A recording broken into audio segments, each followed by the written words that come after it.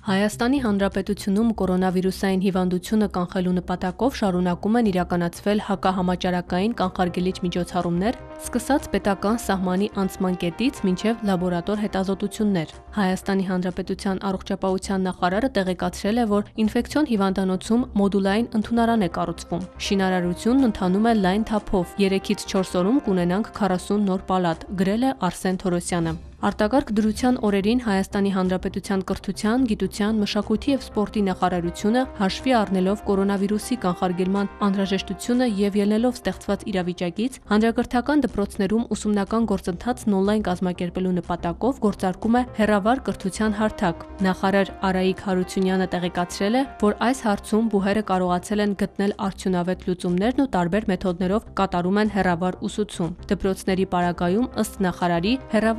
հերավար.armedu.am կայքում կարելի է գտնել անհրաժեշտ գործիքներն ու տեղեկությունները։ Հարթակը մշակվել է Կրթության, գիտության, մշակույթի եւ սպորտի նախարարության կրթական տեխնոլոգիաների ազգային կենտրոնում եւ արդեն հասանելի է։ Հերավար կրթության արդյունավետ կազմակերպման հարցերը քննարկելու նպատակով Կրթության, գիտության, մշակույթի, սպորտի նախարարի տեղակալ Ժաննա Անդրեասյանի մոտ հրավիրվել է աշխատանքային քննարկում, որին մասնակցել են նախարարության հանրակրթության ոլորտի պատասխանատուները, ինչպես նաեւ հերավար ուսուցում կազմակերպելու փորձ եւ ներուժ ունեցող կրթական հաստատությունների եւ հարթակների ներկայացուցիչները։